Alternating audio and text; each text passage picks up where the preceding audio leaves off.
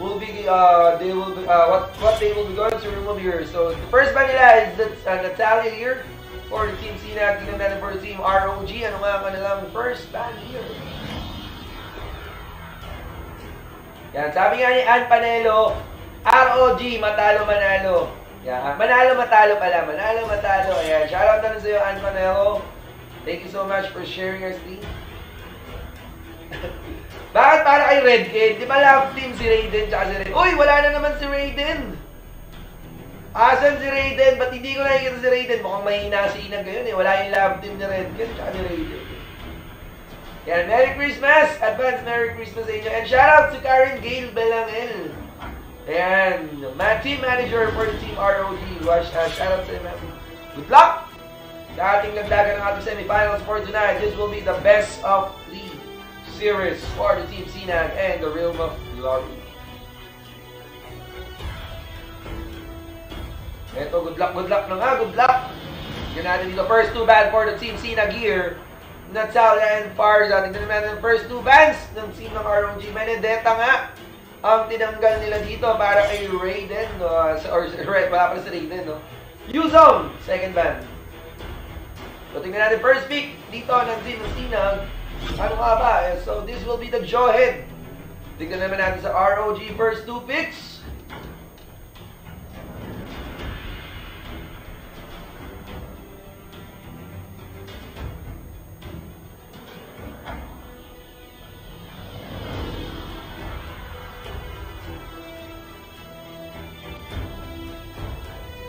Oo nga, bakit sad, Madam Karen? Eh, Shoutout daw to John Kilos.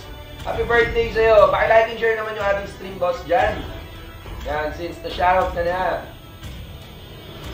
Na-shoutout na lang sa mga supporters ng Sinag family. Yan, from Stacy Avalo. So, ito nga first two picks from team ROG. It's the DJ Bombay or the Cavalier and the Hilda. Para naman dito sa Sinag, they got here the Bruno and the Alice. Third pick naman tayo for the team ROG. Tingnan natin kung anong third pick nila, no? Ano kaya ang third pick ng ROG dito? Ah, alam ko na kung bakit nalulungkot si Ma'am Karen. Kasi nga wala si BJ Sato. Yue is out for for the game. Yan, out muna muna si Yue. Business daw muna, nag-vacation daw muna si Yue. So it's a Lancelot for the team ROG here as their third pick. Tignan natin ang kanilang third ban para sa team ng ROG dito. Ano nga ba ang kanilang tat uh, pangatlong tatanggalin?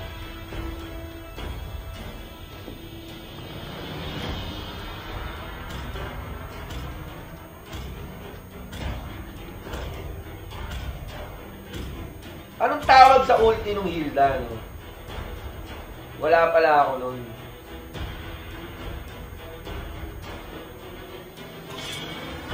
Ah, power of wilderness pala yun. Ah, power of wildness, wildness, power of wild wilderness. Power of wildness pala tawag sa ulti ng Hilda.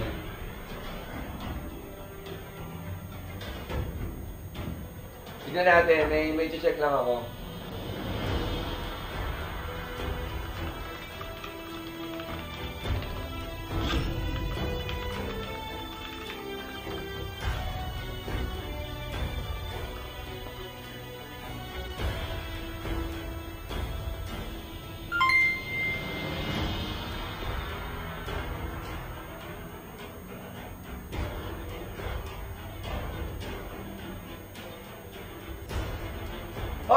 Maraming salamat sa nag-send ng stars. Sino yan? Maraming salamat for 20 stars from Ron Baroga. Ayan, shoutout sa iyo, Ron Baroga.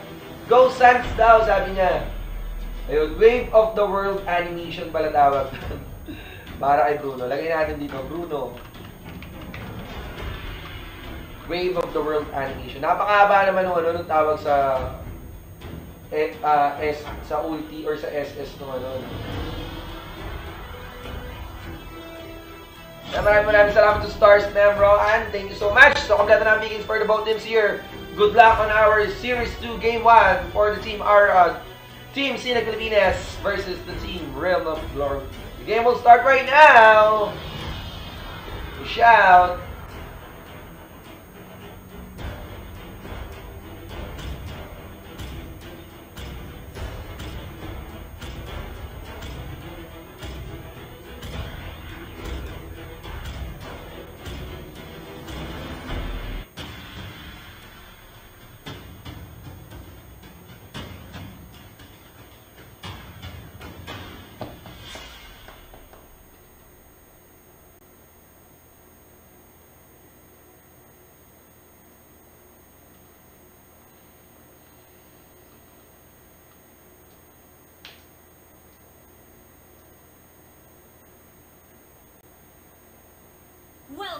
Ayan na. So, simulan na tayo ng bakbakan natin dito on our Series 2 Game 1 for tonight. So, we have here, parang mataas yung ping. Feeling ko lang. Wait lang ha, check ko lang ha. Check ko lang, check ko lang, check ko lang. Wait lang, wait lang.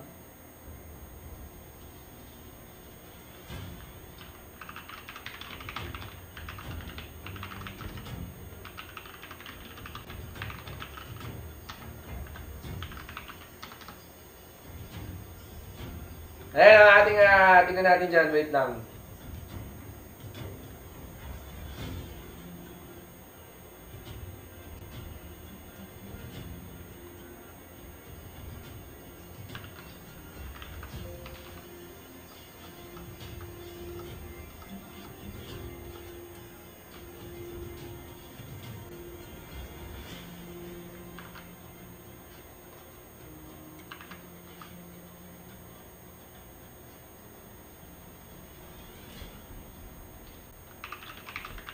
Uh, wait lang, ah, check lang natin yung ping.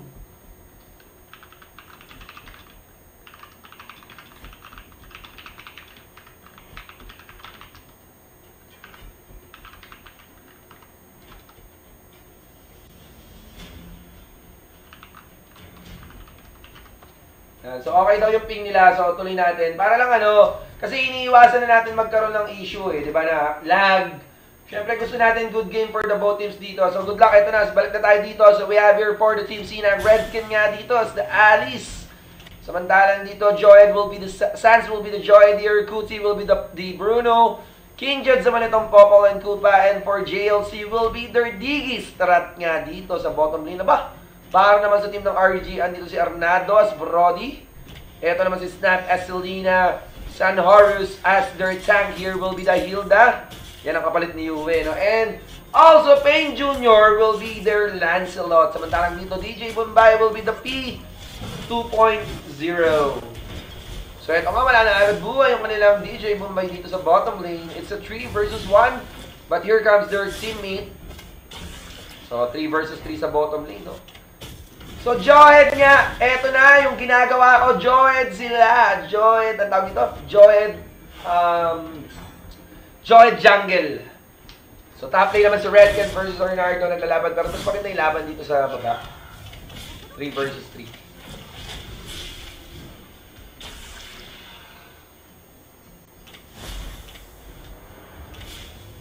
So, dito nagkabigay na inabot agad ng Abyssal Arrow. Etong aso ni Popol. Pwede na pala magtago yung aso dun, no? Paano nangyari pwede na... Ano, control na ba yung aso ngayon? Ganda nagtago ng aso dun sa bush. Sana nakokontrol na yung, yung upa, no? Para pag nako- para, para pwede mo siyang palakarin sa mga bush-bush lang. Parang sa Dota, sino ba yun? Sila Bear. Yung bear ni, ano, yung alaga ni Sila Bear. Pwede mong ah, ipang, ipang, ah, pang walking orbs yung alaga mo. So, we have a first first blood here for the Team ROG na dali na agad si Sans doon by Arnado. Delikado ito pag lumakas yung Brody talaga dito. So, we have an invade here on the turtle top. Makakabawi naman ito si Redken. And sino nga pa makakakuha ng turtle? Pero sa baba, eto, nagkakabugbugan din. Turtle buff pa rin para sa team ng ROG. At ito nga, humingi sila ng pos. Yan sinasabi ko eh. Paghingi ng pos na yan eh. Dami in pos. So, Jira agad after asking for a pause here. Nakakabitin yung mga post-post na yun ha. So, we have a 2-1 score here for the Team Sinag against the ROG.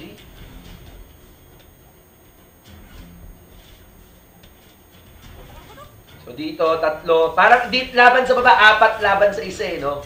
May as. Kasi may may aso yung Popol dito. Ayun, grave. 2 minutes and 44 seconds. Nabasag agad yung bottom lane by the Team Sinag here. Parang, parang gusto ko yung lineup ng Popol sa Digi. Medyo, medyo makate, no? So, dito nga snap, we're going to take another kill for the Team ROG and it's an all-2 na nga. Tabla pa rin tayo. So, change lane for the Team Sinag. Yan, medyo maganda yung galawan nila, no? Dito naman daw sila sa Brody.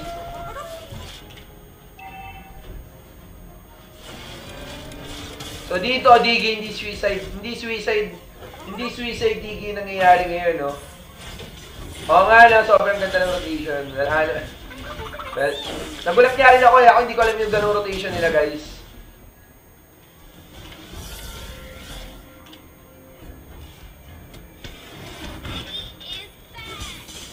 Yan, 3-2 tayo na dahil hindi dito pero nabuhay agad. Kuti wala nang buhay dito. With a triangle spam here for Payne Jr. Sa baba, tignan natin dito. Sans papunta na dito. And I think it's an ambush here for Arnado. Ito na nga si Sans. And here comes Redken. Papasok with the Blood Ode. Aabutin dito. Pero here comes the Unstoppable Force. At hindi na nga makakatakas ang Papa Brody natin from the Team ROG. Turtle resurrecting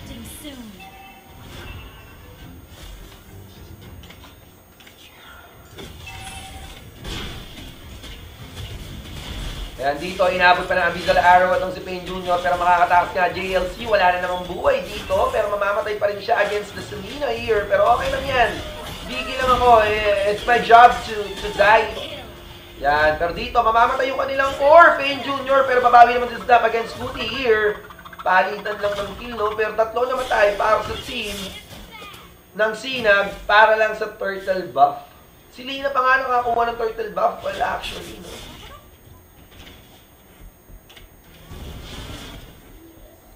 So 7-4 ang ating score. Uh, lumalamang ng ROG dito. Uh, with about 3,000 gold ahead. And it's a pause again.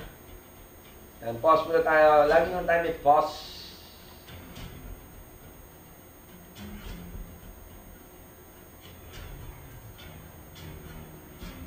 Tingnan natin dito. Asan na yun?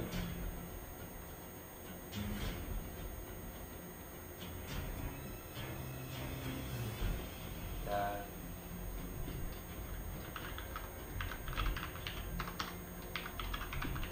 Uh, lumingiraw lang po sa team ng Sinag. So wait lang tayo habang naghihintay.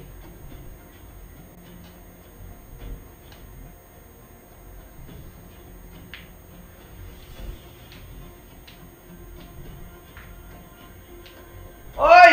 Andiyan yung moderator natin. Shoutout sa'yo, Erica Fabria, Scarlett. Buti nagtatrabaho ko ngayon, ha? So, game na raw tayo. Back to the game na tayo dito.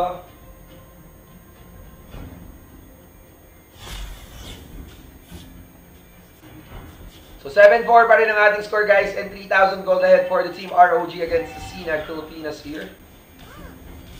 Eto nga, abisal araw na naman. Munti ka na tamaan yung ating Papa Bruno dito.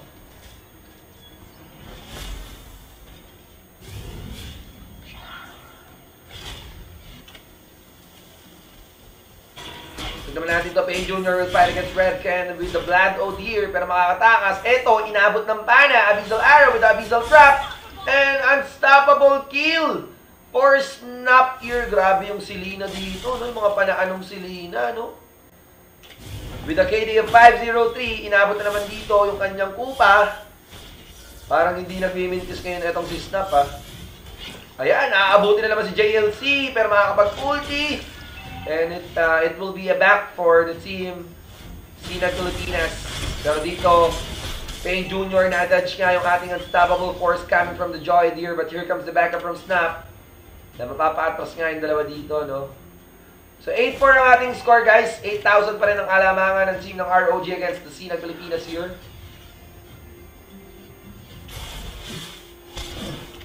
Mag-item check muna tayo, no? So dito maglalaban si Redken and Payne Jr. But here comes the DJ Khaled the Swill. Ito, grabe tong si Payne Jr. kahit sa Torre. Ay, kay Payne Jr. si... Si... Oh, Payne Jr. nga. Ayaw ko na nagpalit kasi ng pangalan si Payne Jr. eh. no? Yeah, monster kill! Para kay Snap nga. Nadali na naman yung kanilang.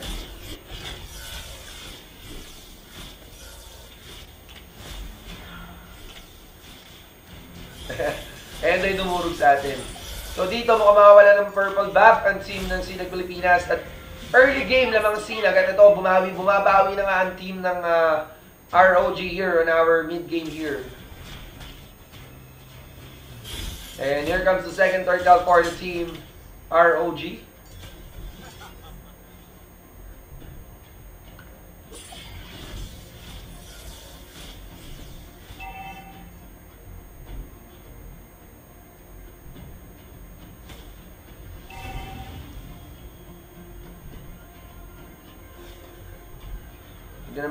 Dito, eto. Farming lang ang both teams habang nagpa-farm lang. Check item tayo, syempre. So Bruno got the 4,200 gold deal with the Endless Battle and trying to build the Berserker Fury. While on the other side, we have here the Lancelot for the Team ROG, who has here the the, the Ra- Raptor Machete and the Heptasis, and almost have here the Endless Battle. So napakaraming item ng Lancelot ng team ng ROG dito.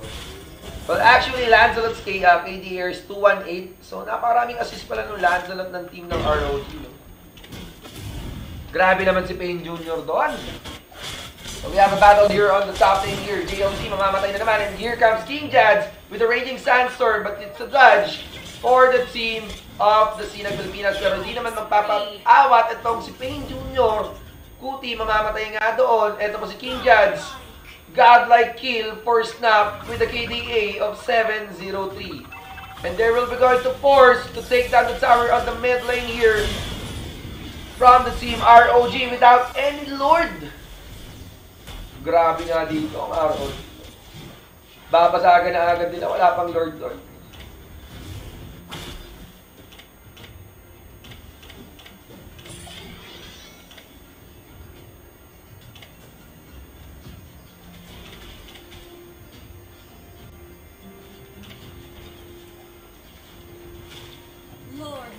Ayun na, here comes our first Lord of the game tonight for the team Sinag and ROG. At nakapwesto na nga ang Realm of Glory dito.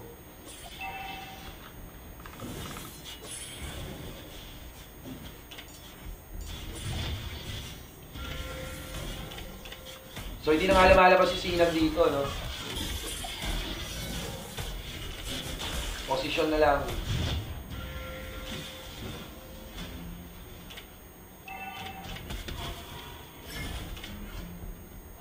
Tignan natin dito.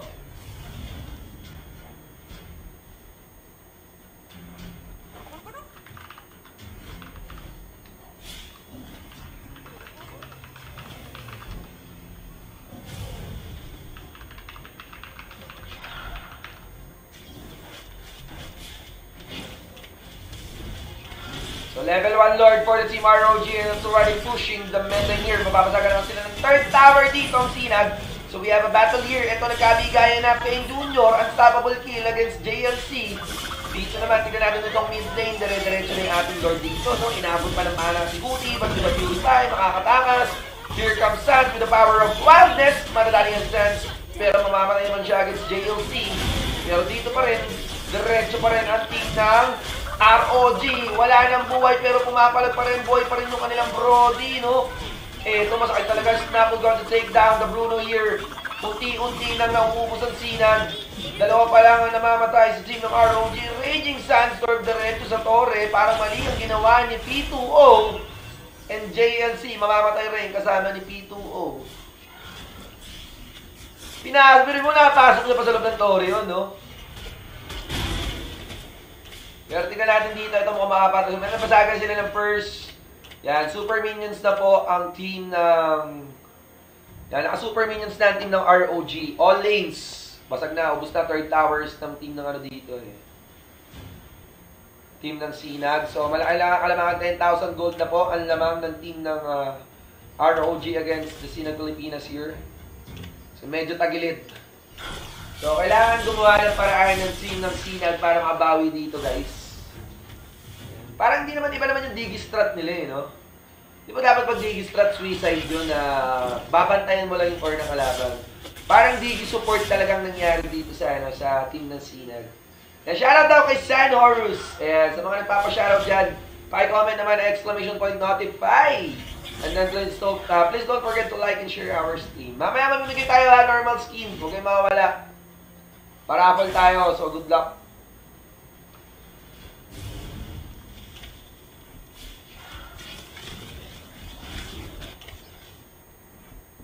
So dito feeling ko magkakaabangan na lang. Tiktasan na lang to. eh. Pag nakapit na sa ROG dito, I, I think they will be going to have a call shot para tapusin yung laro.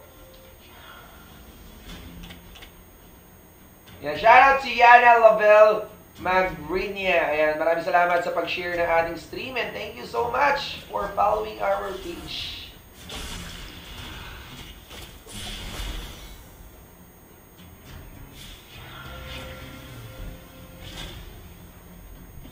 Yan, Gisela Basesco, maraming uh, shoutout din sa'yo. Paki-like and share naman yung ating stream.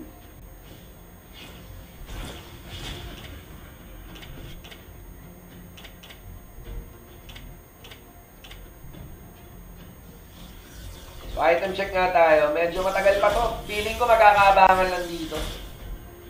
Uh, tingnan natin yung galawan ng ating MVP for, MVP for the night. Ito magiging MVP dito si Snap.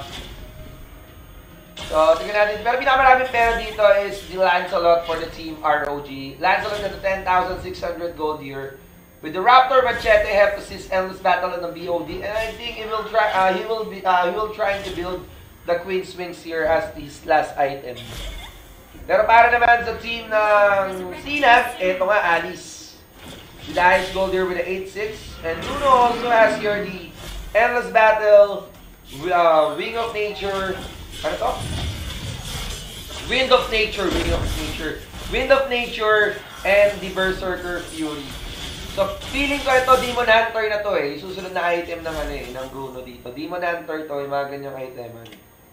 So, second Lord for the Team ROG. And this, is it will be the end for the Team Sinag against the ROG. Tingnan natin dito, second Lord. So, nagkukumpulan lang ang team ng Sinag trying to defend their throne here or base here. So dito naman Arnardo busy lang sa pagkuha ng purple, uh, red buff here. Sa side ng team ng Sinag. Tignan natin dito.